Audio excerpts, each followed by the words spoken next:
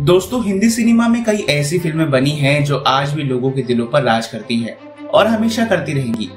Film का हर scene dialogue और किरदार लोगों के जहन में बसा हुआ है। आज हम एक ऐसी ही फ़िल्म की बात करने वाले हैं, जिसके एक किरदार को लोग कभी नहीं भूल सकते। आज हम बात करने वाले हैं साल 1975 में आई फ़िल्म शोले में। मौसी का किरदार निभाकर मशहूर हुई अभिनेत्री लीला मिश्रा के बारे में। दोस्तों, लीला मिश्रा अचानक ही फ़िल्मों में आई थी और उनका फिल्मी दुनिया में आने का किस्सा बेहद दिलचस्प रहा है। और इस वीडियो में हम उनकी जीवन की दिलचस्प कहानी जानने वाले हैं। नमस्कार दोस्तों, मैं हूँ समीर और आपका स्वागत है अपने channel B N F India पर, जहाँ आपको मिलती है मशहूर लोगों की बायोग्राफीज और उनके जीवन से जुड़ी दिलचस्प कहानियाँ। तो अगर आप हमारे चैनल पर नए हैं तो सभी सब्सक्राइब करें और पास वाले बेल आइकन को दबाएँ, ताकि हमारी नई वीडियोस आप देख सके जैसे ही हम उन्हें अपलोड करते हैं। तो बिना वक्त गवाए, चलिए अपना वीडियो शुरू करते हैं। दोस्तों, वैसे तो फ़िल्म शोले का हर किरदार कमाल का था, और आज भी लोगों के जहन में बसा हुआ है। लेकिन मौसी का किरदार भी लोगों को काफ़ी पसंद आया था। मौसी और जय के बीच की वो मज़ेदार बातचीत का सीन आज भी लोगों के चेहरों पर हँसी ले आता है। अपने जमाने की मशहूर अभिनेत्री लीला मिश्रा का जन्म उत्तर प्रदेश के एक गाँव के जमींदार के घर पर हुआ था। लीला को उस समय कोई शिक्षा नहीं मिल पाई थी, क्योंकि उनके घर में लड़कियों को पढ़ने की इजाज़त नहीं थी। इसी वजह से लीला मिश्रा की शादी भी बेहद कम उम्र में हो गई थी। लीला की उम्र सिर्फ़ 12 साल की रही होगी जब उनकी शादी बनारस के रहने वाले प्रेम प्रसाद मिश्रा के साथ कर दी गई थी। शादी के कुछ ही सालों के भीतर लीला मिश्रा माँ बन चुकी थी। अपनी ज़िंदगी के सत्रह साल पूरे होने तक लीला मिश्रा दो बेटियों की माँ बन चुकी थी।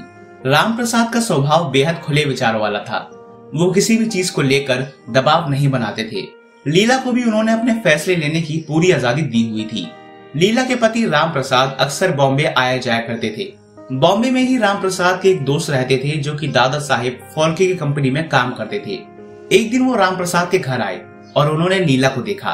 उनकी खूबसूरत और भोली सी सूरत को देखकर उन्होंने अपने दोस्त राम प्रसाद को लीला को फ़िल्मों में काम कराने को लेकर सलाह दी। पहले तो राम प्रसाद ने इस बात के लिए साफ़ इनकार कर दिया था, लेकिन उनके मामा के समझाने पर वो मान गए। इसके बाद राम प्रसाद और लीला दोनों ही बॉम्बे के लिए रवाना हो गए, जहाँ पहुंचकर दोनों ने ही अपनी अदाकारी शुरू की और फ़िल्मों में काम मांगने के लिए जाने लगे। इन दोनों की पहली फ़िल्म साल 1936 में एक साथ आई थी, जिसका नाम था सती संलोचना। इसमें राम प्रसाद ने रावण का किरदार निभाया था तो लीला ने मंदोदरी का रोल अदा किया था। इस फ़िल्म में काम करने के लिए लीला को पाँच सौ मिले थे। लीला मिश्रा अपनी जवानी में बेहद खूबसूरत अभिनेत्री थी। लेकिन उन्होंने कभी भी कोई लीड रोल नहीं निभाया। ऐसा नहीं था कि उनको लीड रोल ऑफ़र नहीं किए गए, बल्कि उन्होंने करने से ही मना कर दिया था। इसके पीछे की वजह कही जाती है कि लीला पराय मर्दों का छूना बिल्कुल पसंद नहीं करती थी। यही वजह थी कि वो हमेशा ही माँ, मौसी, नानी और चाची वाले किरदार में ही नज़र आती थी। जब वो अपनी शूटिंग करने लगी, तब उन्हें बाहरी आदमियों का स्पर्श बिल्कुल पसंद नहीं आया और इसके बाद से इन्होंने कभी भी लीड रोल करने की नहीं सोची। लीला मिश्रा ने लगभग पाँच दशक तक फ़िल्मों में काम किया, और इस दौरान उन्होंने 60 से अधिक फ़िल्मों में काम किया था, जिसमें अनमोल घड़ी, आवारा, प्यासा, लाजवंती, शोले, पहेली, चश्मे बदूर और फ़िल्म नानी माँ में निभाए गए उनके किरदार ने खूब सुर्खियाँ बटोरी थी। इसी फ़िल्म के लिए एक्ट्रेस लीला मिश्रा को पहली बार तिहत्तर साल की उम्र में बेस्ट एक्ट्रेस के अवार्ड से नवाजा गया था, और फिर 17 जनवरी उन्नीस सौ अठासी को मशहूर और खूबसूरत अभिनेत्री लीला मिश्रा का निधन हो गया।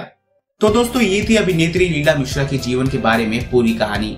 अगर ये वीडियो आपको पसंद आए तो लाइक करें और अपने दोस्तों में शेयर करें। साथ ही ऐसा कंटेंट देखते रहने के लिए हमारे चैनल को सब्सक्राइब कीजिए। तो इसी के साथ मुलाकात होगी आपसे एक और नए वीडियो में। तब तक बने रहिए हमारे साथ और देखते रहिए बीएनएफ इंडिया